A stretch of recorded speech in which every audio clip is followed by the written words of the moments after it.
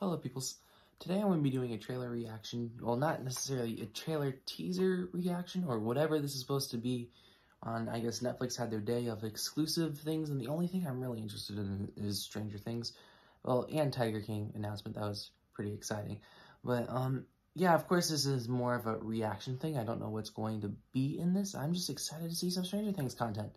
To be honest, um, I'll just throw out my Stranger Things opinion First first season still my favorite. I still really like season two, and season three, I personally is my least favorite season, but I, I still like it. I really do still like season three quite a bit.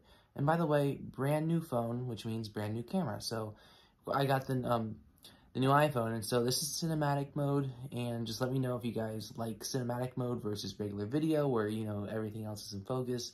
So just comment down below. What do you like more, this mode or just regular video?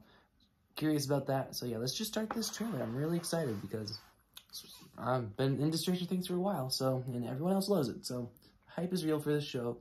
So let's start this trailer teaser in three, two, one.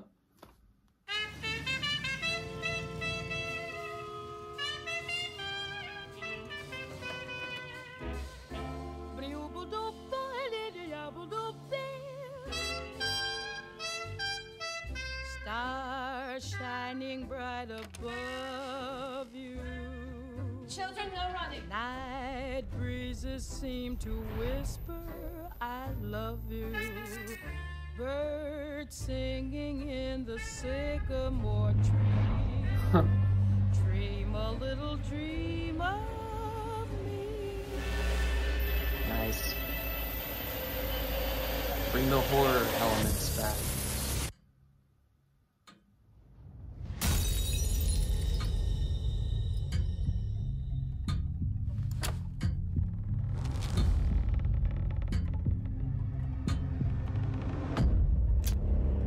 You maybe clarify what sort of clues we're supposed to be looking for here?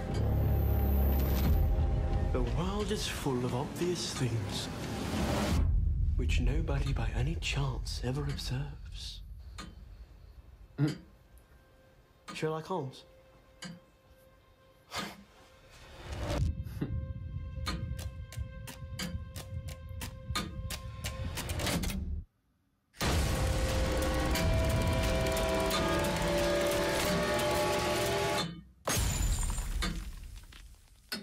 Nice. Encouraging thing already is that they're bringing back scary elements, and that's what I really liked about the first season. I found that I found a really nice balance between scary and almost like 80s nostalgia. So it was that's what made the first season very original. And each as, as the show went on, we lost a little bit more of the scary element. Of course, season three had creepy imagery, but I never was like, oh, this is so scary like we experienced with that first season. This had, I wasn't necessarily scared, but it feels like they're going for it, if that makes sense. So I am very intrigued about this. Um, what these flashbacks means, it looks like they're definitely going for something different.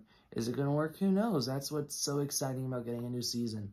There's a dead rabbit, this family, lights start blink blinking, two dead children, nice, and they break into that house. It's Ghostbusters tag and a walkie-talkie. Who knows what this means? All I know is that I am excited for the show, and I am pretty excited for season four. You know, after, you know, season three, I was kind of thrown off a little bit. I still like season three, don't get me wrong. It just felt like not necessarily the direction I want the show to go in. But um, maybe this will be a course correction. I just hope it doesn't, like, I, I just love season one and each, and once we got to season three, I just felt like we kind of lost that a little bit. But who knows, this season, it looks very different. And so I'm very excited the show is trying new things. So, yeah, that's all I have to say. So, anyways, like, share, subscribe, and stuff like that, and adios.